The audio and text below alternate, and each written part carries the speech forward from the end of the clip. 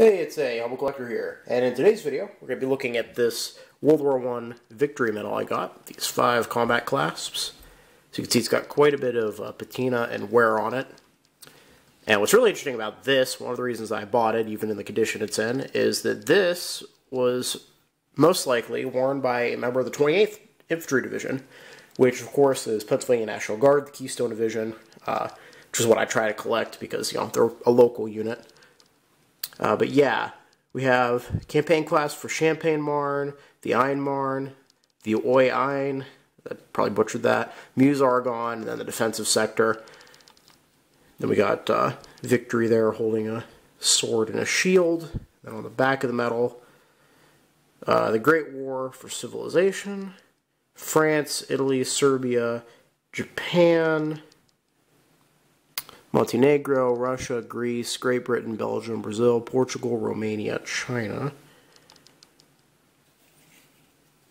But yeah, a little bit about the Victory Medal. Um, it was awarded to those you know, serving overseas between April 6, 1917 and November 11th, 1918. So pretty much the entire length of U.S. involvement in the war. Um, or it could be awarded to members of the AEF who served in the European Russian front from November 12, 1918 to August of 1919. August 5th, I believe, according to my notes.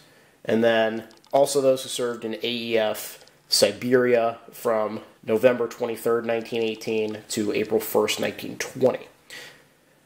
Now, each of these combat classes basically denotes that you were active in that combat zone during a certain period, um, so the Champagne Marne is for those who were in the combat zone between July 15th, 1918 and July 18th, 1918.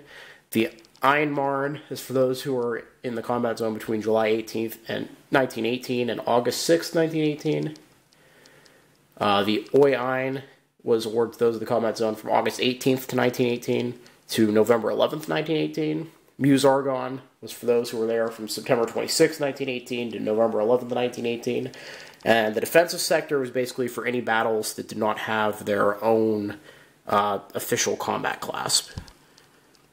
So, yeah, based on the research I did, the only possible unit that had this combination of combat clasps was actually the 28th, which is pretty interesting.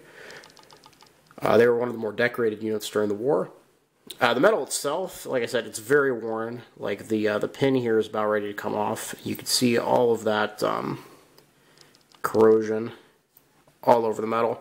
So this one has definitely uh, seen some use. I'm sure that this was worn for countless 4th of July and Veterans Day parades over the years by uh, whoever it was who had this originally. Unfortunately, I don't have a name to go with the medal.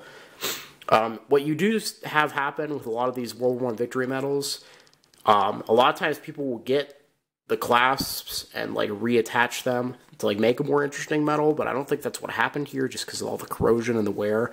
Like this is falling apart just holding up the weight of all this. So when I'm done recording this, I'm going to get it um, get it a, a, uh, collection number and then I'm going to throw it in one of my uh, shadow boxes to avoid any further damage. But yeah, as you can see, it's pretty pretty well worn.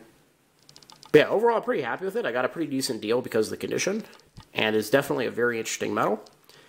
And I know that right now we're kind of in a pandemic.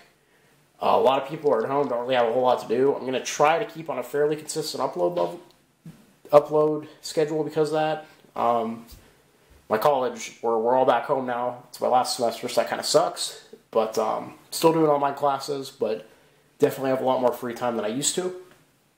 So I've been doing a lot of scanning in of documents and photos, doing a lot of archival work, and still looking at the, the military auctions. So hopefully you know, as long as the mail's getting delivered, I'll be able to get some, some more stuff in here to keep you guys entertained.